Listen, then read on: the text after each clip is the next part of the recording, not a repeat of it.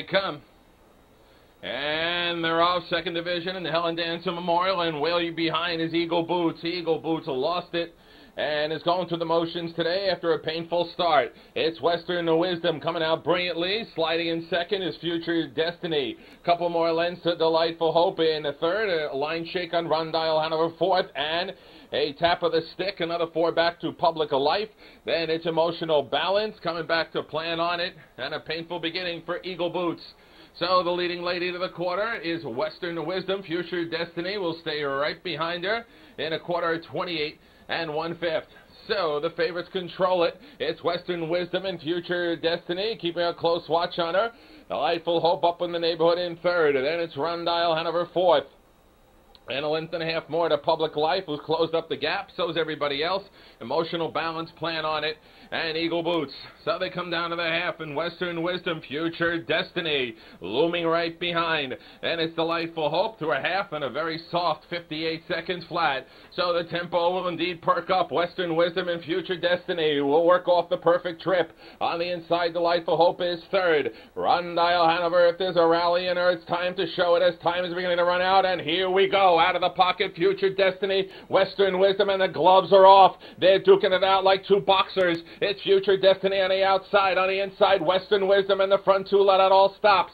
Four lengths to Delightful Hope, three quarters on the board in 126 and 2. Around the turn, Western Wisdom fighting on for all she's worth. Future Destiny now is falling a length behind again. Another three back to Delightful Hope. Horse racing at its finest. Western Wisdom still a tough customer. On the outside, Future Destiny, she gave her best. Her best wasn't good enough. Western Wisdom has wired him out in the second division of the Helen Dancer Memorial. Then Future Destiny, Delightful Hope in 154 flat.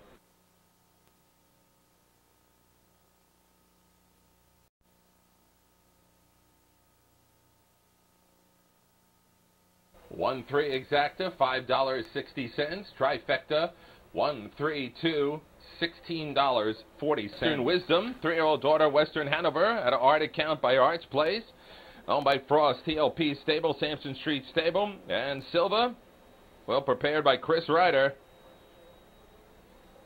And at the controls, John Campbell, who brings her home in 154 flat.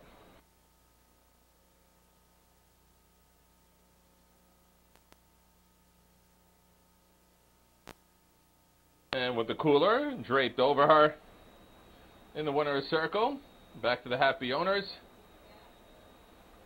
Meeting and greeting Mr. Campbell and the owners. We'd like to welcome again esteemed members of the Dancer family to include Mr. Ronnie Dancer and Harold Dancer Jr. Along with their family members, we're honored to have them here today to honor the memory of the matriarch of the Dancer family, Helen Dancer.